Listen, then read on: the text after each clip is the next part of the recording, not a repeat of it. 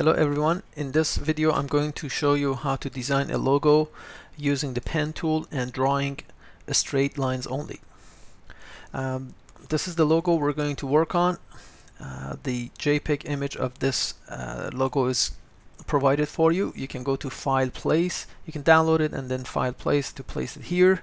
Um, now we're going to look at it and try to create something similar. Uh, first and foremost I'm going to click here for the type tool and type click there and type W. Um, I hold shift and type W so it's uppercase. And um, I'm going to switch back to the selection tool. Hold shift and drag it to increase the size. Yeah it seems like it's too narrow. We can go highlight it with the T tool go to characters and make it bold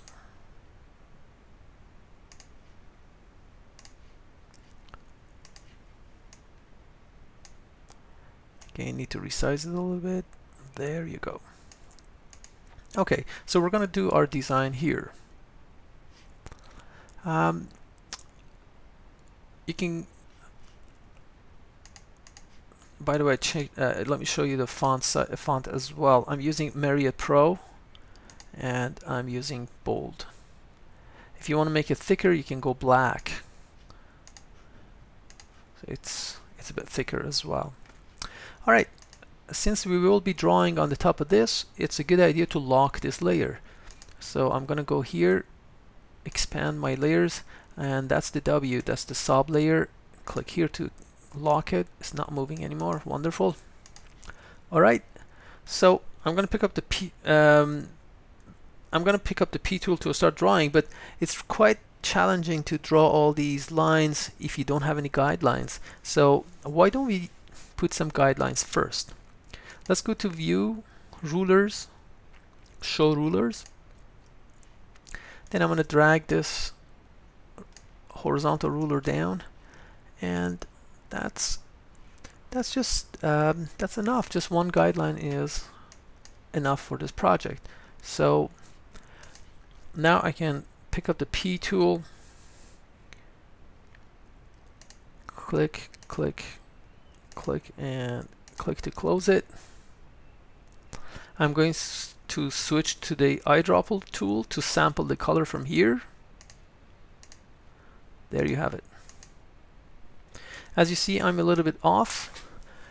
I'm not going to be worried about that when I'm drawing because I can always modify those. There's also a chance that um, snap to the grid is selected. So make sure you go to the view and check all these snaps, make sure they're not checked so it doesn't give you a bad time. And also make sure the guidelines are locked. Alright, so I can pick up the direct selection tool, click on this and drag it here, and this one,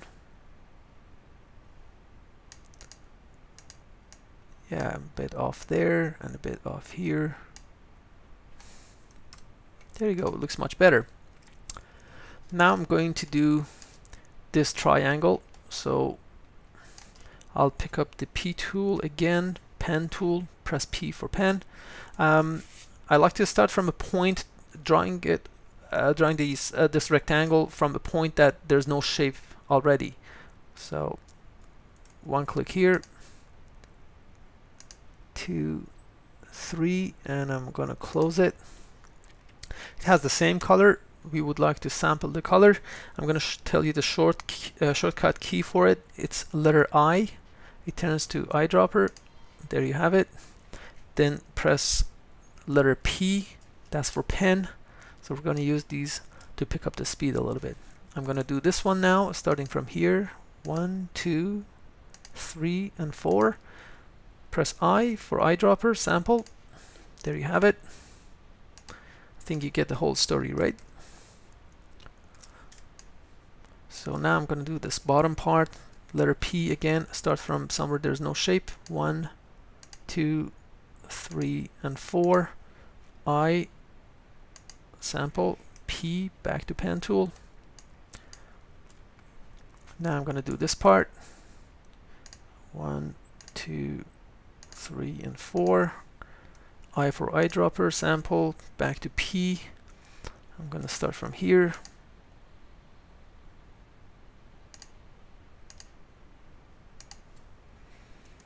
Sample this one.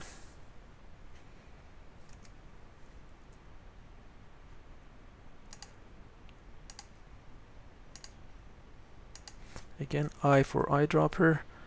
I need this dark color. There you go. Um, I can do this one now. So P, I can do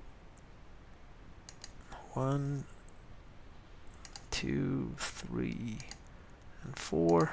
So there's the same colors. Yeah, actually I made a mistake, didn't I? Yeah, which is fine. I can pick up the direct selection tool, click on this, and bring it here.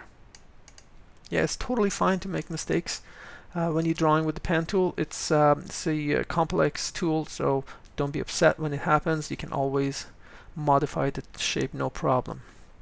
I'm going to go back to the P tool. Now I'm going to do this one.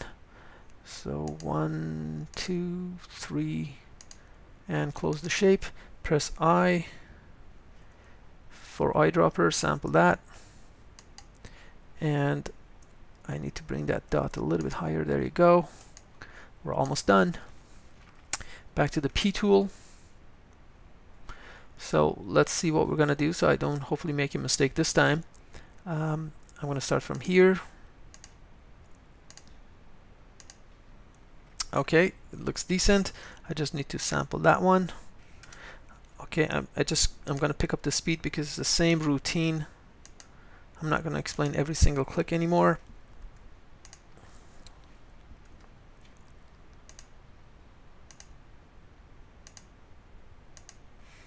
And sample the color.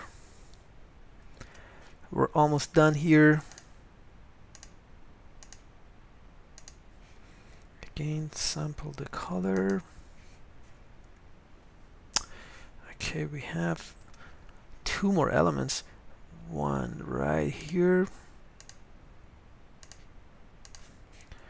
Sample and the last segment. One, two, two, three, and four.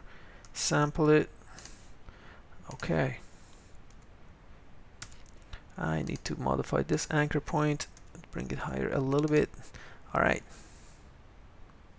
Maybe it's too far up. There you go. So now if you go to the layers panel, you see all these shapes you drawn are here. I do have this W here which was locked. I can make it invisible. I don't need it anymore. You can also right click here with the selection tool, unlock the guides, and get rid of this. Press delete. I have a little bit of a problem here. There's a bit of a gap. You can pick up the direct selection tool and modify all these little points.